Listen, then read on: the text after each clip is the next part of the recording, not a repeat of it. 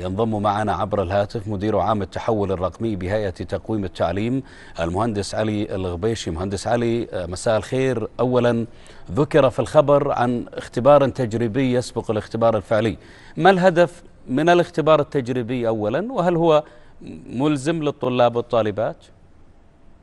نعم أسعد الله مساكم جميعا.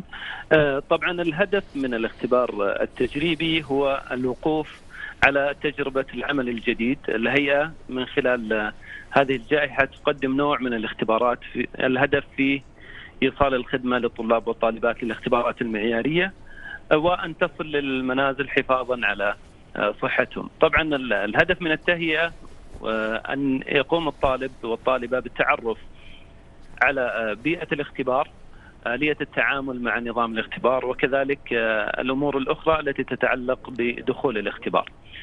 طبعا انطلقت المهمة من اليوم الاستعدادات أرسل لجميع الطلاب والطالبات النظام على الإيميل الإلكتروني الخاص بكل طالب وطالبة وبدأوا الطلاب والطالبات في العمل على الدخول للمنصة وتعريف بياناتهم حتى يتم إن شاء الله في 6 شوال انطلاق المرحلة التجريبية. نعم هل هو ملزم الدخول مهندس علي؟ طبعا هو ملزم لهدف أن يكون الاختبار الفعلي إن شاء الله سهلا للطلاب والطالبات، لذلك هو ملزم لجميع الطلاب والطالبات الذين قاموا بالتسجيل في الاختبارات عن بعد. نعم، هل هذا الاختبار التجريبي هو لهذه الفترة فقط نظرا للتعليق أم ان أنه سيكون إن شاء الله في كل سنة حتى لو انتهت هذه الجائحة؟ أي نعم هيئه تقويم التعليم والتدريب تدرس منذ فترة يعني تقريبا من قرابة أقل من سنة إلى الآن تدرس الاختبارات الإلكترونية وتقديمها بشكل جديد وتناغما مع التحول العالمي في تقديم التعليم عن بعد والاختبارات عن بعد. فسيكون هذا خيار أيضا للمستقبل. نعم. المدة مدة الاختبار التجريبي هل هي مثل الفعلي؟ ما هي المراحل أيضا التي سيكون عليها هذا الاختبار؟ هل سيكون مثل الاختبار الحقيقي أم أنه سيكون أقل نسبة من, من, من الاختبار الحقيقي؟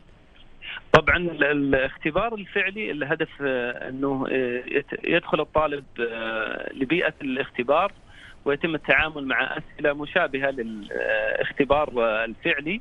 كذلك يتعرف على طريقة التعليمات الخاصة بالذكاء الصناعي. مثل ما تعرف انه الاختبارات في العادة يكون هناك رقابة في داخل المقرات التي تقدم في بيئات الاختبار المختلفة.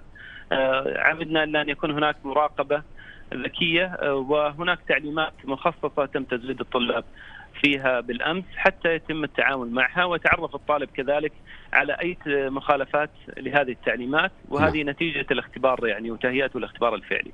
نعم مهندس علي يعني لا شك بأن أيضا بعض الطلاب ربما يوجد لديه ضعف في الإنترنت، البعض الآخر ربما لا يوجد لديه أيضا إنترنت في هذا الوقت، كيف يعمل في هذه الحالة؟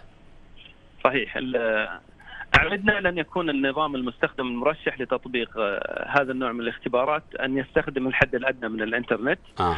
وأن يكون أداء الاختبار أثناء بدء الاختبار يستخدم دون الاتصال للإنترنت يتم التعامل مع الاختبار فقط يكون في رفع الإجابات في نهاية الاختبار الاحتياج للإنترنت فمدة الاختبار وأداء الاختبار الفعلي تكون في مرحلة الأوفلاين بعيدا عن الاتصال للإنترنت وهذا مريح للطالب بحيث يتنقل في الإجابات على الأسئلة.